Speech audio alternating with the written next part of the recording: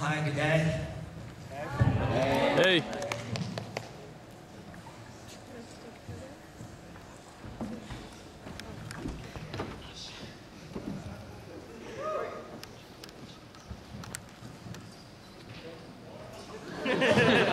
Joking. Fantastic. Um, so what we're going to do is we're going to get two questions from one side, then two questions from the other side, go backwards and forwards. Um, so let's just start. How are you guys enjoying your, um, your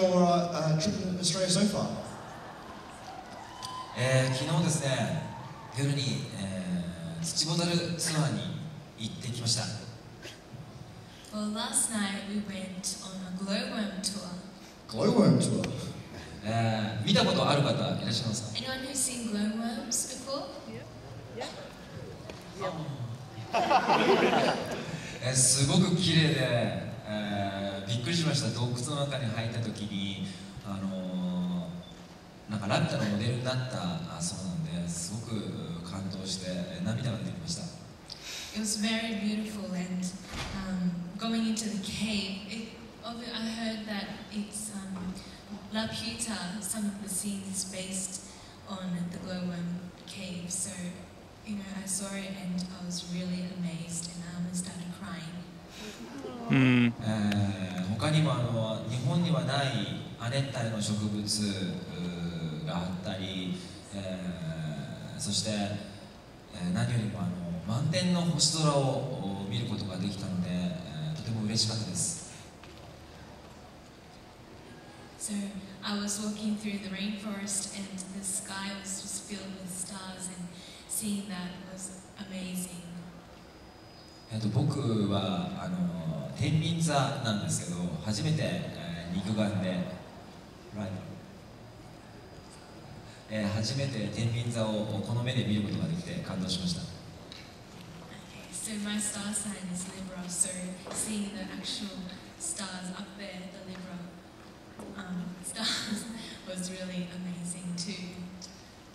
非常にオーストラリアは美しい場所だなと思って、毎年来たいなというふうに思います。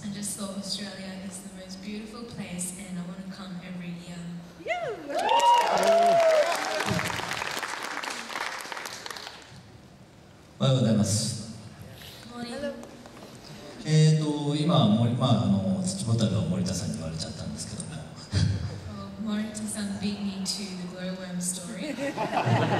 あの今朝あの海にちょっと行ってきました。あのもう寒いのかなと思ったらあの水の中を思ったより暖かくて。波がもう。波がやっぱり全然もういきあの勢いがあっていやこういうところはにいたらもういなんだろうあの本当にいつまでも若々しくみんながいられるところだなと思って感激しました The waves were huge, and seeing that, I just felt that I could always stay young if I lived here. Fantastic. Okay, so we'll we'll start over this side first. Uh, who would like to ask a question for one of our guests? Okay. Moving along. Oh, Can you move over here, Dan? Move over here. I may need to get the camera held while I'm asking Uh, questions. or yes, something. um, this is for Marita-san. I was just wondering what's the strangest line that you've had to perform?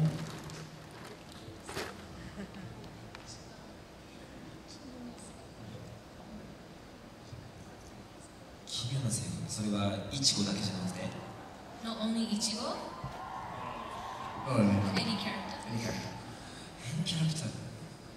え、なんだろう。バナビ変なやつじゃないよ。えっとね変なの？ちょっと待って。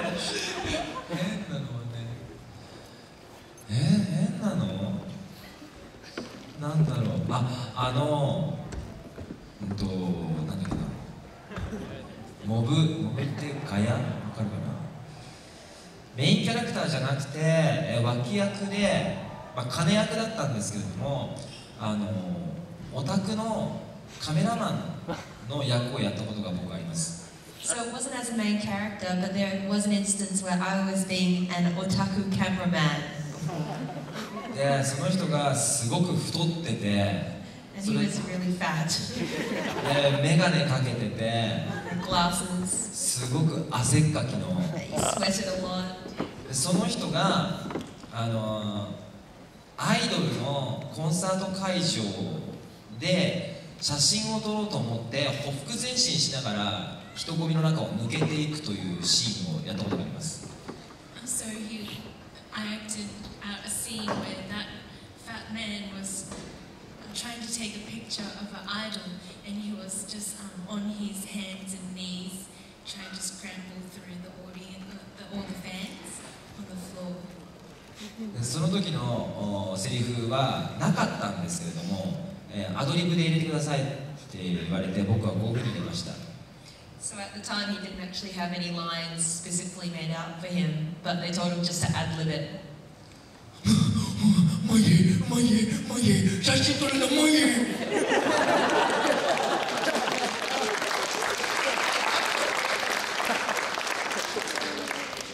それが変な意味だったのかなと思います So he thinks that was pretty strange. あとはやっぱりすごく太ってる人でで髪の毛がこうぺったり七三分けになってるう高校の先生を演じたことがあります And after that, there was a character where he was a high school or a school teacher where he was very fat and he had one of those flat, oily heads, middle parting sort of style. でその学校が、えっと海に臨海臨海学臨海学校、まあ、海にみんなで、えっと生徒たちと一緒に旅行をしに行くというシーンを撮ったことがあります So with that high school, there was a scene where they all went for a trip to the ocean. でその先生太ってる先生なんですがブーメラン型の小さいえー水着を着ているというそういう変な人でした And at the beach scene, this fat teacher was wearing um, a very small swimming trunks, what we would call budgie smugglers here in Australia. で太ってる人なので、えーさっきみたいに「うんうん」っていうふうにやろうとしたらすごくいい声で喋ってくださいっていうふうにディレクターの方から言われ言われました So this was a, another fat character that I was doing, so I was going to use that voice again with the huffing, puffing, but then I was told to put on a very good voice. えー皆さん今太っててオイリーヘアの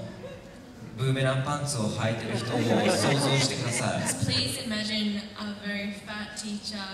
with oily hair, middle partings, with these really small bikini pants. その人がこういうふうに喋ります And that person talks like this. 皆さんいいですか？今日は海ですよ海は危険ですから気をつけてくださいね 素晴らしい。これぐらいですね So that's about it. Fantastic. This lovely lady over here. 森田さんにお願いがあります、はいはい最近タイガーバニーで、はいあのバニー役を演じましたねはい あの僕はバニーじゃないバーナビですって言ってくださいはいわかりました So I'll just translate for the rest of the audience. Um, our lovely fan over there, as she said, recently Morita-san has been involved in uh, Tiger and Bunny. And one of the lines in Tiger and Bunny is that he says, I'm not Bunny, I am Barnaby. and she has asked Morita if he could uh, do that. OK ブリーチって書いてあるけどね Even though it says bleach. it's okay, じゃあ he'll や do り it. 今なんて言いました僕はバーニーじゃないバーナビーです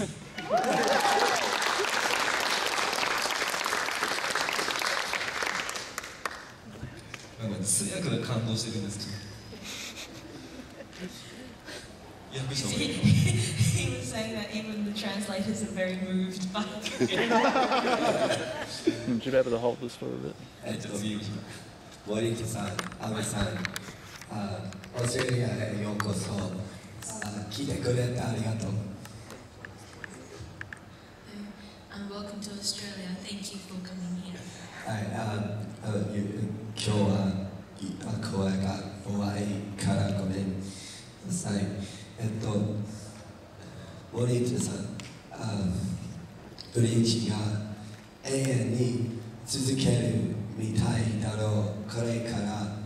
永遠に続けたいと続けるつもりですか？はい。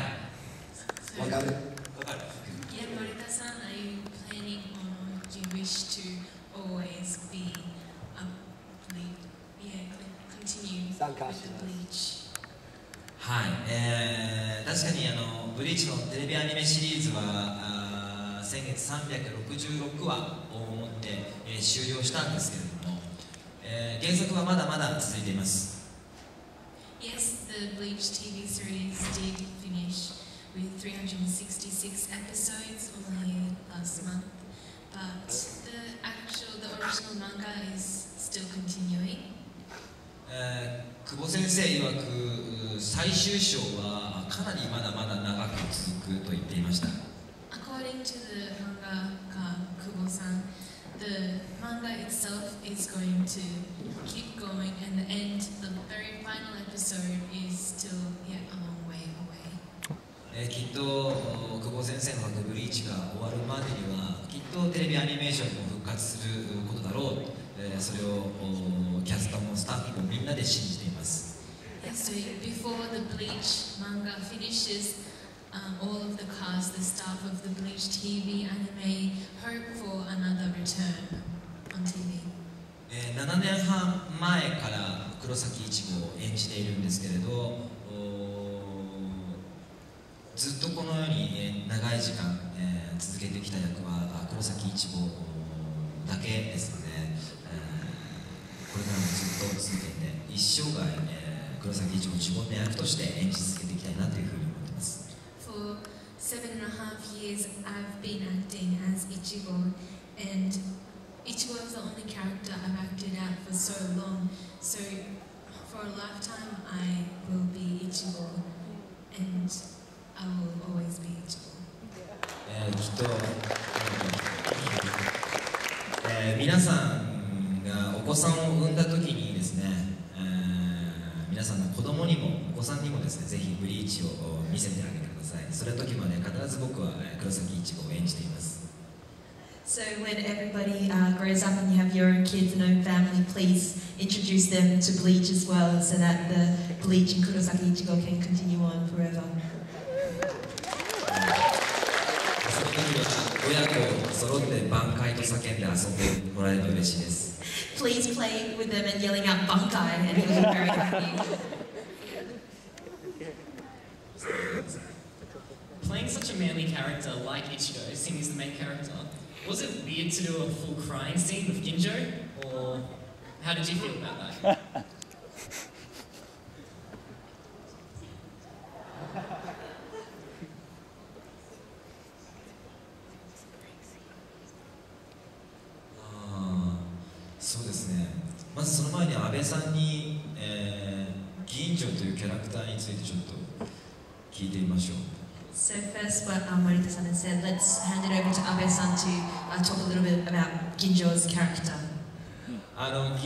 いうキャラクターはブリーチの中でちょっと変わ今まで出てきたキャラクターの中で変わってると思うんですけれども作る上で難しかったなっていうところがあります So uh, the character of Ginjo in the world of Bleach is a little bit different from the normal. So uh, we want uh, Abe-san to just explain a little bit about that.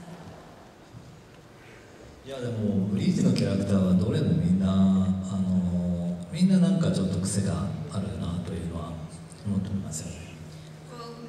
every character in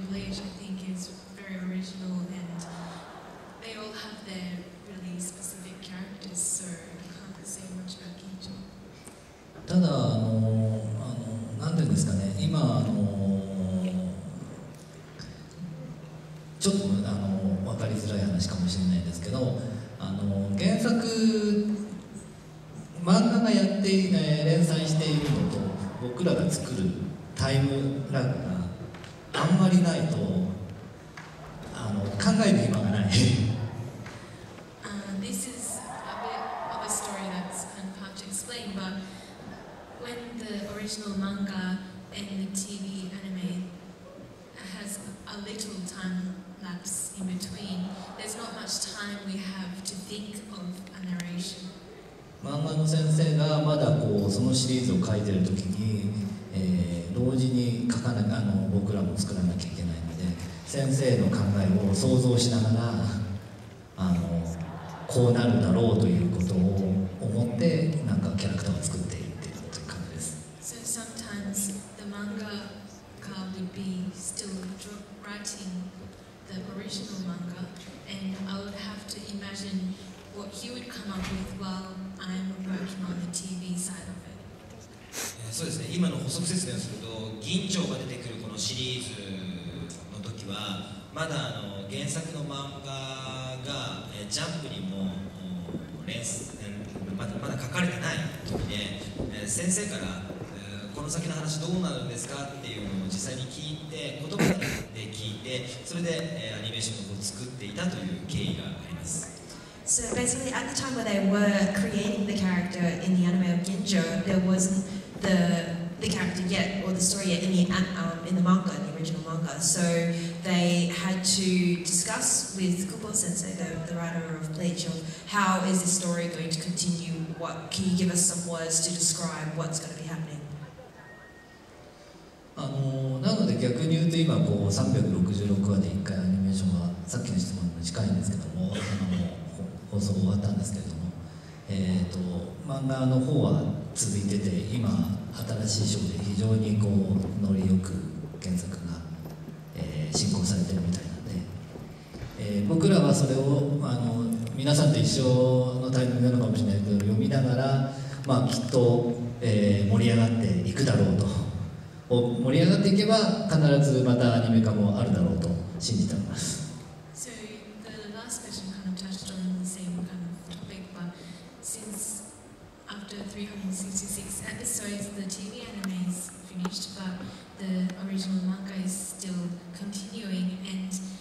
it will be reading it with all of the other fans as well. And as the story develops into a huge climax, and it gets more and more interesting, I'm sure one day the anime would um, start and you know get on top, yeah, continue as well. So in some way we might come back. でその中で、えー彼の質問にえー答えたいと思うんですが、えーあ So after all that, um, I think I might get ブリーチ366話の中でイチゴが、泣いたのは銀上編のたった1回だけです。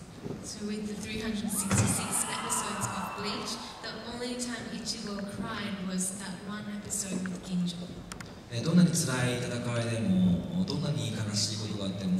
イチゴは泣いたことがありません。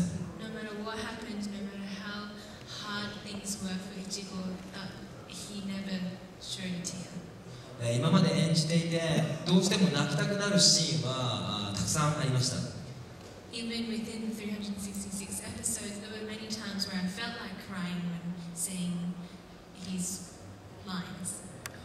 だけどイチゴは泣いてはいけないので、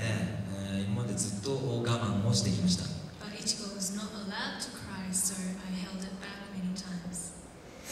えーですが銀城編の時に、えー泣くことになり、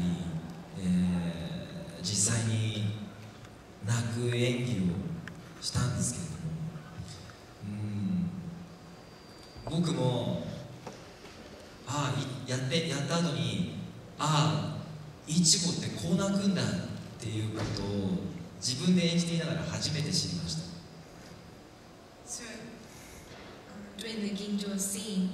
I was finally able to cry as Ichigo. And even me, after after recording, I felt like, oh, okay, so this is how Ichigo cries. えーあんなにこう強いイチゴがそして優しいイチゴが泣くときにあんなに苦しい泣き方をするんだというのを知ってすごくイチゴのその、うん今まで辛かった気持ちというのを、えーさらに深く感じることができました So even though there was this, the very strong Ichigo and the very kind Ichigo, to cry in such a way, it, it was very painful and it was a, more of a very deep feeling when it actually happened. えーでもきっともうイチゴは死神の力を取り戻したので泣くことはないでしょう、えーさらに悲しいこと辛いことがきっとたくさん彼の身の上には降りかかってくるんだと思うんですが、えーその度に彼は泣かずに、えーまた強くなるんだなというふうに信じています。But now that he has his power back, uh, he doesn't believe that he doesn't, even though there's more, um, more and more battles and more trials to face, he um, thinks that Ichigo will be very strong and then face face this all. Thank you very much. This lady here. Hi, first of all, I just want to say thank you to both of you for coming to Australia. We're very glad to have you here. And my question is for Morita-san. Um, can you summarize for me what does Kurosaki Ichigo mean to you?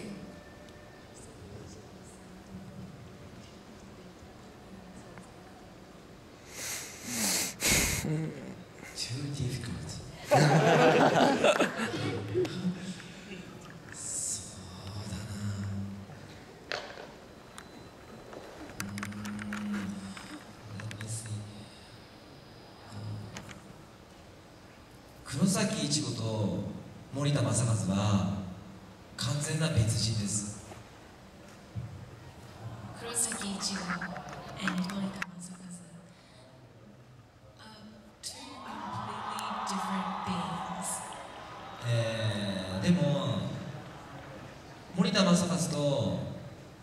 ファイナルファンタジー10のティーダは限りなく近いです and Tidus from Final Fantasy X are Pretty very close. close. Yeah. 大体自分がやる役っていうのは役者は自分に寄せて演技をするのですごく近い部分が多いっていうのが普通です So in the world of voice acting, to have a character which is very similar to one that you do is, is very normal. ですがいちごと森田正和の共通点はほぼないんじゃないかなと僕は思ってます But I believe that between Masakazu Morita and Kurosaki Ichigo, there really isn't that many similarities like to be um, to compare. え でも別にいちごが嫌いなわけじゃありません But it's not like I hate Ichigo. えーこの7年半という時間僕は毎日いちごという人間がどういう人間なのかを理解しようとする毎日でした So in the last seven and a half years of um, performing as Kurosaki Ichigo, every day I ask, who, who is he? えーけれどいちごはとても難しい役で難しい人間で、えー最終回を終えた今でも、えー、全てを演じきれたというふうには思ってません But because Ichigo is a very difficult person and a difficult human being, um, I don't think that even until today I have completely fully understand him. ファンの方々は、えー黒崎一護の声は森田さんしかいないということを言っていただけてます、えーそれは非常に僕は嬉しいことだと思っています So when fans say, "Oh, Morita-san, your voice is very much like Ichigo's," I get very happy when I hear that. けれど僕自身はうーんまだいちごと完全にシンクロしてるっていうふうには思えてないので、えーこれからまたさらに、えーいちごとシンクロできるようにいちごのことをずっと考えていきたい、えーさっきも話しましたけど生涯ずっといちごのことをそうやって考えて演じていきたいなというふうに思ってます。Even though fans say that to me, I'm very happy. Even to this day, I still don't feel like I've completely synchronized with Ichigo and his character. And I believe for a lifetime, I would always think about Ichigo and I would always think about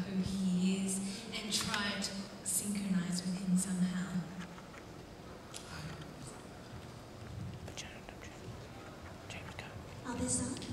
Um, how are feelers for Bleach developed? Like, um, who writes them and who comes up with the ideas for them?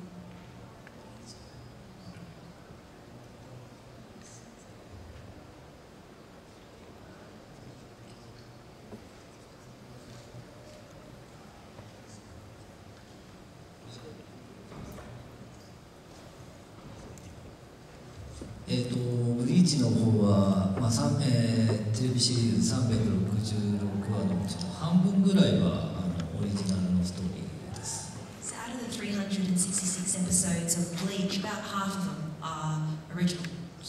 あと、まあ、あの、劇場も、えー、は、四作ともオリジナルストーリーです。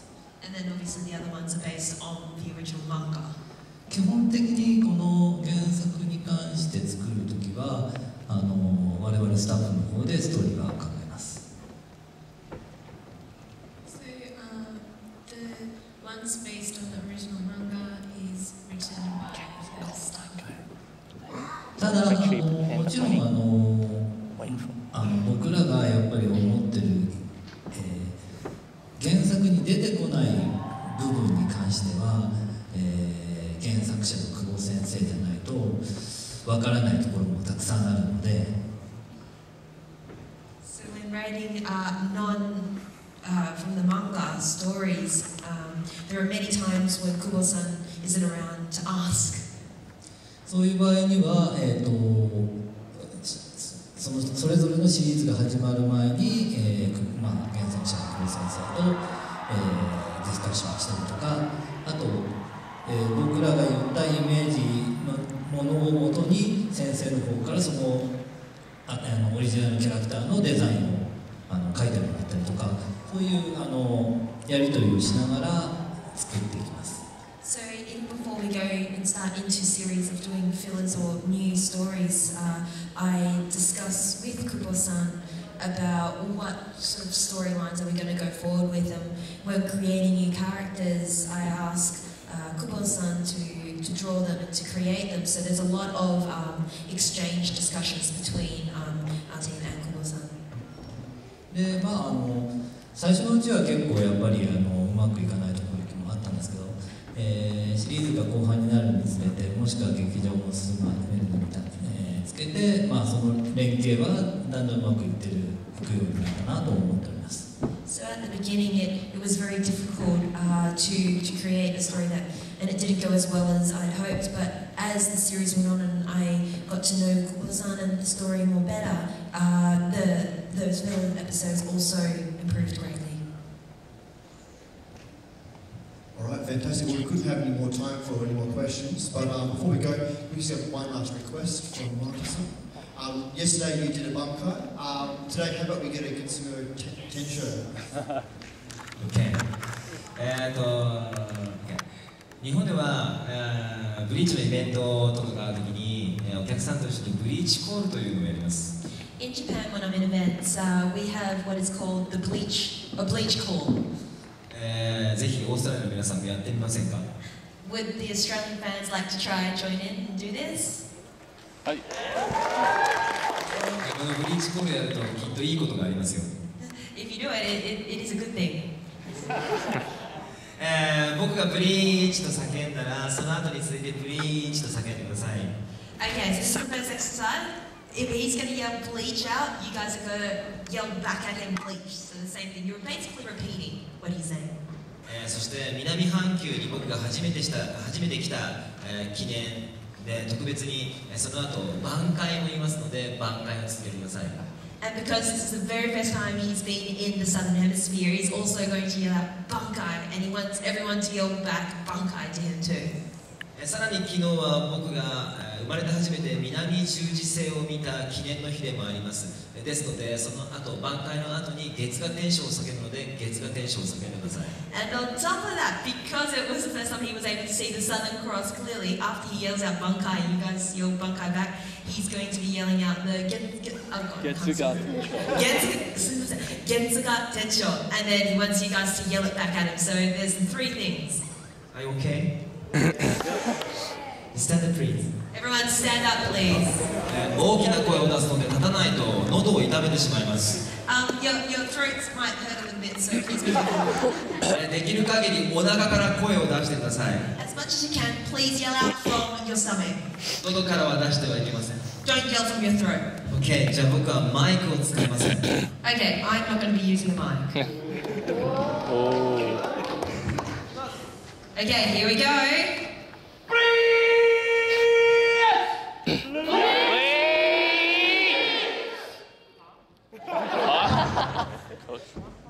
One more time, guys.